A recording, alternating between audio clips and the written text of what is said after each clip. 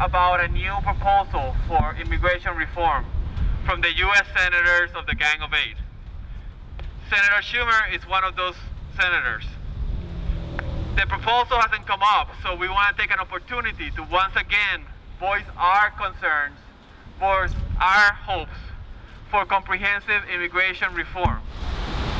In the USA at the moment, we have approximately 11 million undocumented immigrants living in our country.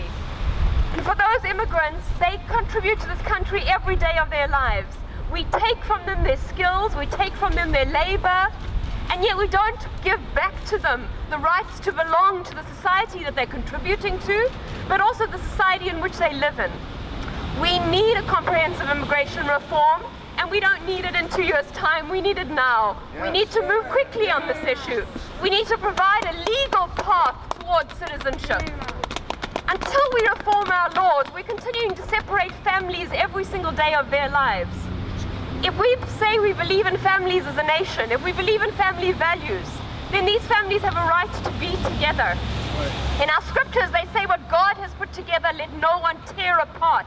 But currently, our laws are tearing apart every single day in this country families that are crying to be reunited.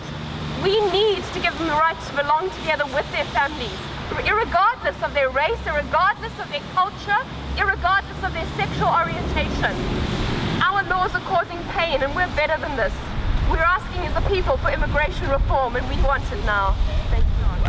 As U.S. workers struggle in today's economy, it's clear we can't reclaim the American dream for workers until we eliminate our two-tiered labor force and pass comprehensive reforms that build the strength and unity of all working people.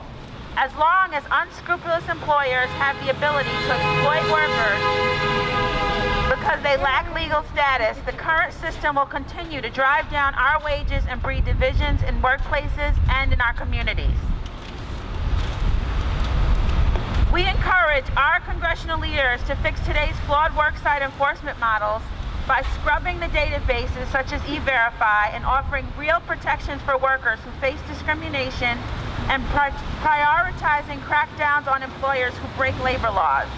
This, done alongside comprehensive reforms and an effective employment verification system will ensure that every worker is in the system, paying taxes, and protected by equal labor rights. Thank you. Thank you to the many organizers, especially Louise, and activists that worked together to bring us here today. Let's give us all a round of applause for coming out in this terrible Rochester weather. Americans across the political spectrum agree that our nation's immigration system is broken. Up to 1 million undocumented immigrants in the New York State are trapped in a system that makes it impossible to obtain lawful status, even if they have lived here since they were children, even if they have paid taxes, or have children who are themselves American citizens. This is a human rights crisis. In New York and across the U.S., people are being denied basic civil rights. Immigrant homes are raided, over 300,000 people are and children are detained every year, often in inhumane conditions and without medical treatment. And unscrupulous employers prey on undocumented people. When we deprive one vulnerable population of due process and equal protection, we erode the constitutional protections of all Americans. As an immigrant who was born in South Korea, came to America through adoption, I hold the values and promise of the U.S. Constitution close to my heart. I'm proud to be an American, but I'm not proud of the way that America treats my immigrant brothers and sisters. I'm not proud that people are imprisoned, sometimes for years and often in appalling conditions without even a hearing. Uh, in many cases, our immigration laws prevent judges from even considering the facts of the case before they uh, sentence people to jail without access to lawyers or their families.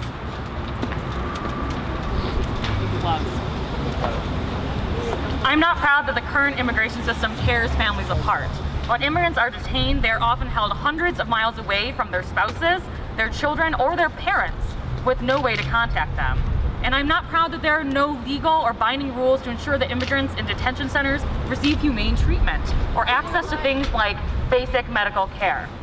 This is not what America is about. It's time to make our immigration system consistent with our American values as a civil liberties activist, I have to add this caveat. Successful reform will reject backdoor attempts to establish a national ID card.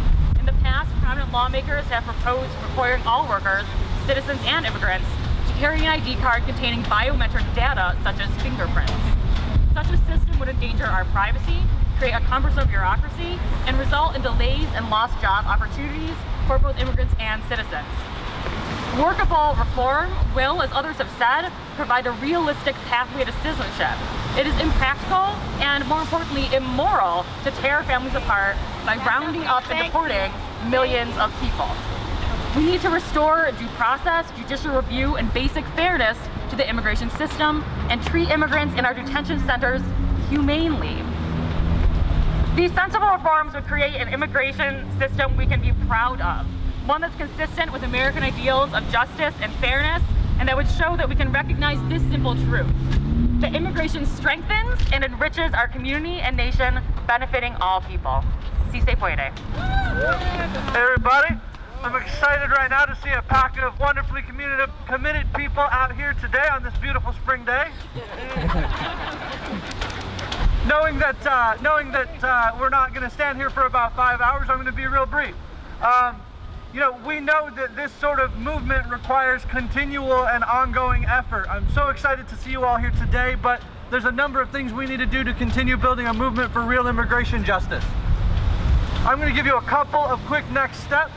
Um, think of these as minimal next steps that you can do to start moving the, the movement forward and that uh, the maximum next steps is to be consistently and constantly involved in this issue on just about every day. Uh, I understand that that's difficult for some folks, but it's necessary. First, we should be bombarding our representatives with phone calls as often as possible, uh, particularly Schumer, but also Gillibrand and Louise Slaughter. Every day. And if you're a congressperson outside of this area, Reed, Maffei, and Collins can surely hear from you. Later today, there will be an email take action uh, targeting these uh, these leaders on the Metro Justice website. If you go to metrojustice.org, uh, you'll find it there. It's very helpful if you click that and take action, sending them an email uh, about your thoughts. It is considerably more helpful if you pass that on to hundreds of your friends and, and, and community members. Lastly, um, there will be uh, national demonstrations in DC on both April 8th and 11th. Um, if you are at all interested in that, you need to contact us uh, or, or jump on the, uh, the sign-in sheets going around. We need you to check on that that you want to go. Um, our ability to send people to this is really going to be based on the, the, uh, the interest that you all show in going. Uh, we want to send people, we want to have lots of people there, uh, but, but it really requires your energy and your activity. Uh, so, so with that, please take some of those next steps and help us continue to build this movement on the day-to-day -day, sort of constant pressure that we need to be creating. Thank you. Hello everybody. I'm going to uh, hello. I'm going to apologize first for my uh, accent, but you know what? This is what makes rich this country, our cultural diversity. And we are losing the grip here. We forget to embrace others coming to make this country even greater. We had to fight united. I'm here on behalf of the farm worker women in the United States. Currently, with this weather, there are several women in Wayne County, Ontario County, Genesee County, trimming apple trees. That's a sabotage. and these women could not be present today. Just why? because they are afraid to drive the roads of our uh, county roads, being fear of being spotted by the police because they meet the racial profile. What are these women doing in this country? They are picking up the food that we all have in this country. So, sí se puede. Sí se puede. Sí se puede. Sí se puede. Sí se puede. Hi, I'm Elizabeth Henderson. I'm an organic farmer and I'm the co-chair of the Northeast Organic Farming Association Policy Committee. The members of NOFA New York who are at least half of them organic farmers, have taken a position that we want to see a humane path to citizenship for the people who are currently in this country doing the hard work on farms. And in the long run, we would like to see a domestic workforce of people who are well paid. If people want a sustainable, organic, healthy supply of food, we're going to have to change the way things are done. In this country, the great big farms are based on the old plantation system where people work 10, 12 hours a day at back-breaking work, doing the same thing over and over again. We need to change that. We need a system of family-scale farms producing for local people healthy, fresh food that doesn't create the kind of work that is so backbreaking and destructive for people and, and why our country has depended on a supply of people who are desperate, who come here to work because they've been driven from their farms by the free trade agreements. In NOFA farmers see ourselves as the brothers and sisters of the people who are doing farm work here. And if the situation were different, we might be doing the work in their countries.